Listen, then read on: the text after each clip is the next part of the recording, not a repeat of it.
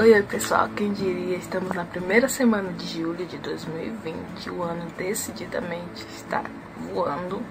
E para quem pensou que a gente ia demorar um pouco para voltar, se enganou. A gente tirou alguns dias para descansar, porque ninguém é de ferro, claro, mas a gente aproveitou para estudar, para assistir, para descobrir, para rever, para pesquisar uns conteúdos bem legais para vocês, uns filmes, umas webs, uns curtas, vocês vão adorar o que a gente preparou para vocês para esse mês. Dois dos filmes que a gente vai indicar hoje são baseados em fatos reais, então se você curte filme baseado em fatos reais, fica aí, fica ligadinho, assiste até o final porque você vai curtir. Mas é claro que antes de ir em frente, você que ainda não é inscrito no canal, vai aqui embaixo, se inscreve no canal, ativa o sininho de notificações, já deixa aquele joinha, não esquece de comentar e é isso. A gente vai pra abertura, a gente já volta aqui e a gente começa o vídeo daqui a pouquinho.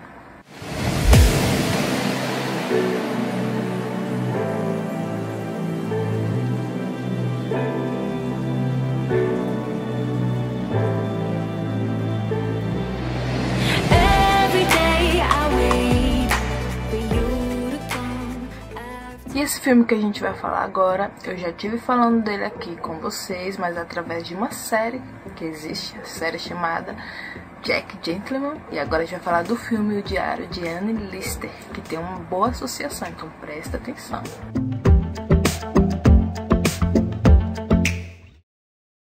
Este filme foi lançado no ano de 2010, baseado nas páginas do diário de Anne Lister, decifrado após 150 anos escondidos. Recentemente, falamos de uma série aqui no canal, Jack Gentleman, que é muito boa e conta de uma forma leve a história dela. Porém, acredite, esse filme é muito bom, muito bom mesmo. E aí sim você vai entender melhor a história da série. O filme conta fatos importantes da vida de Anne Lister, uma mulher criada por seus tios que a esperam ver casada, com filhos e uma vida construída perante a sociedade. Só que Anne é uma mulher completamente diferente e casar-se com um homem e ter filhos decididamente está fora de seus planos.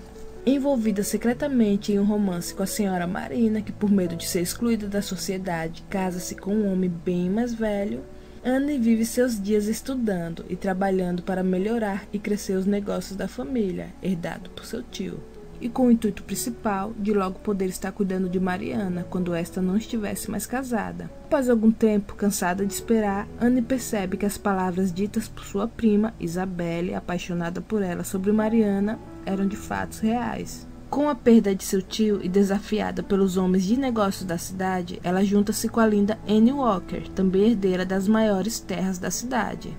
E seu relacionamento com Anne Walker acaba se tornando algo além disso. Se a série é boa, o filme é perfeito. Assistam, vocês não vão se arrepender.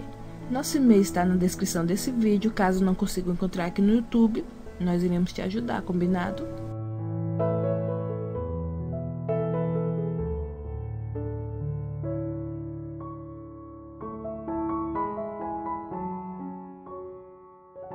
Segundo filme de hoje, The Fields.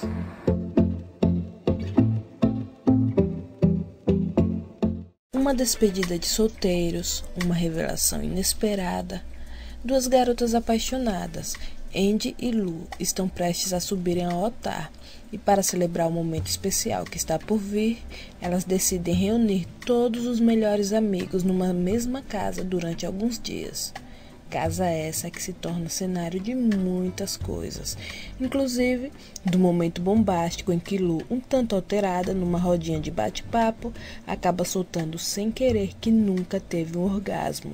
E detalhe, ela está com sua noiva há anos. Imagina o choque da coitada. The Fields é uma comédia romântica, leve, doce e reflexiva, na qual a grande questão é: poderia um relacionamento funcionar sem comunicação? Ao meu ver, ele é um filme fofo, então super recomendo. Ele é do ano de 2017 e pode ser encontrado na Netflix, mas se você não conseguir, pede um help no e-mail aqui abaixo na descrição do vídeo que tentamos te ajudar, ok?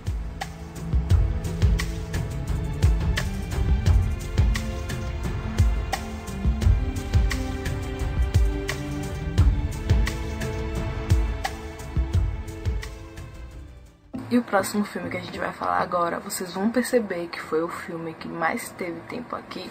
Por quê?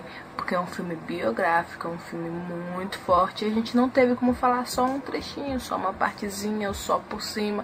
A gente até tentou não estragar o final, mas não tinha como passar por cima, fazer um resumo básico dentro do que aconteceu no filme. Porque assim, o filme é muito forte, o filme é muito bom, o filme é biográfico. E é isso. Eu acredito que alguns de vocês já tenham assistido. Se não assistiram, essa é a oportunidade. O filme é muito bom, muito bom, muito bom. Já tinha ouvido falar muito dele, mas por algum motivo eu ainda não tinha parado para assistir. Quando eu parei, eu disse, porque eu demorei tanto. Mas é isso aí. Vamos falar dele agora. Gia, Fama e Destruição.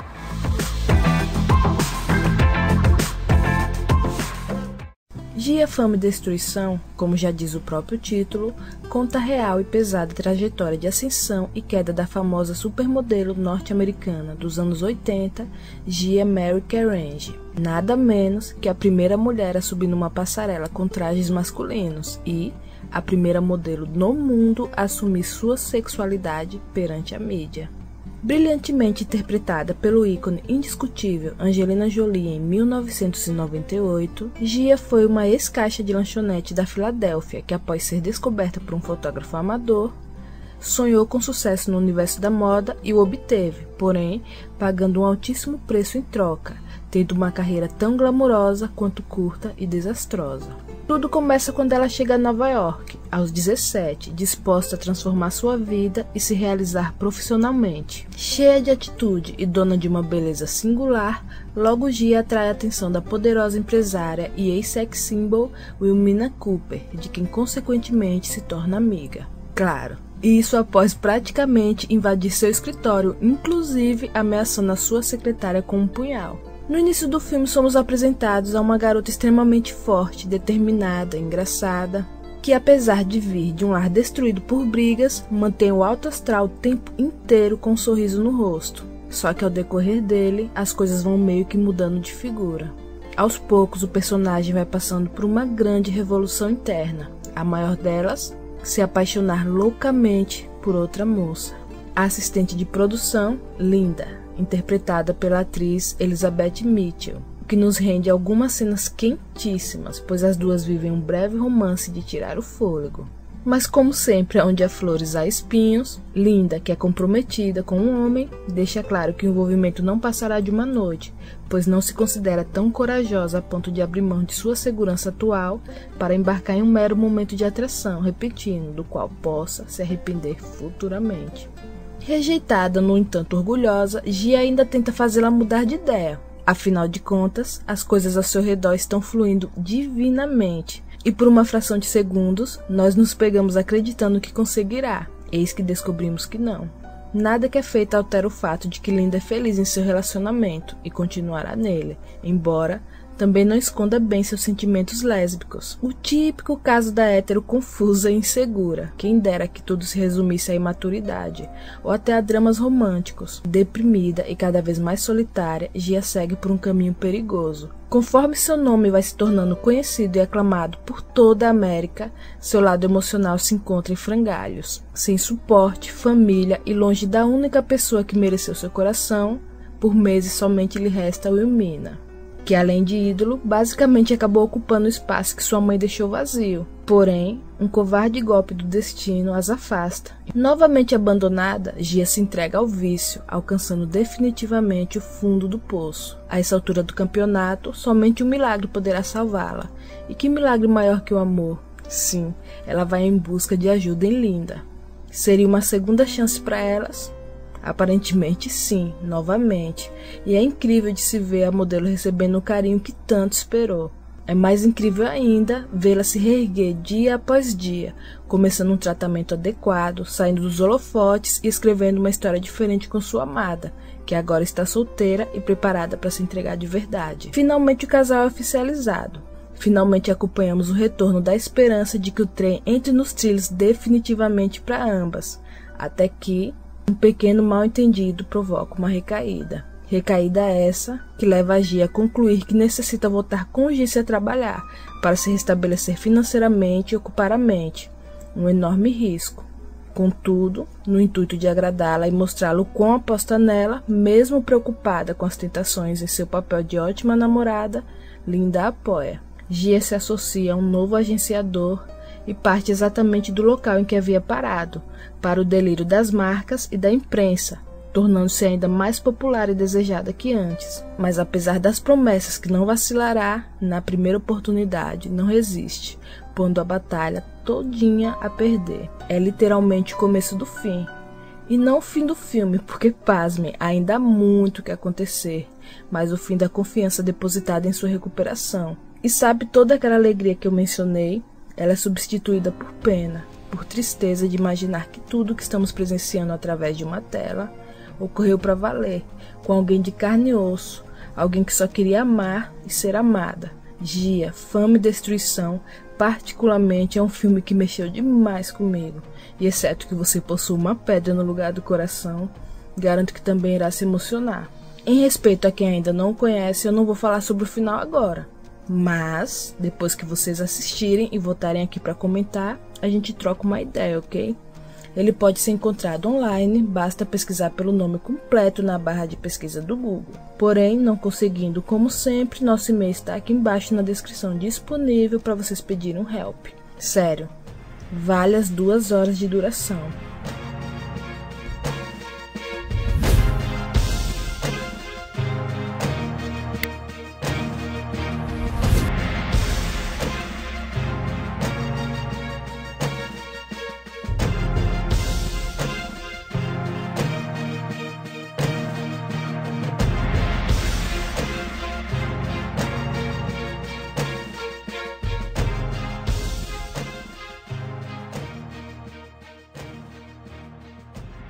E o próximo filme, Gostos e Cores.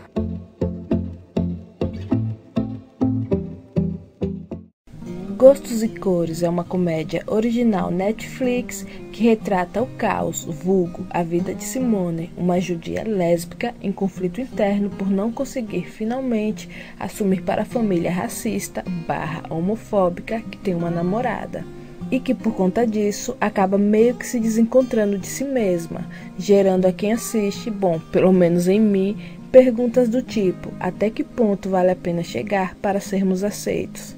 Até que ponto vale a pena tentar se encaixar num círculo que não respeita suas escolhas? Filme do ano de 2018, esse é um daqueles que dividirá opiniões. Assim, eu já tenho a minha, mas só vou dar, é claro, quando você assistir voltar aqui e der a sua também. Como já dito, Gostos e Cores faz parte do catálogo da Netflix, mas precisando de uma ajuda para encontrá-lo, basta mandar e-mail.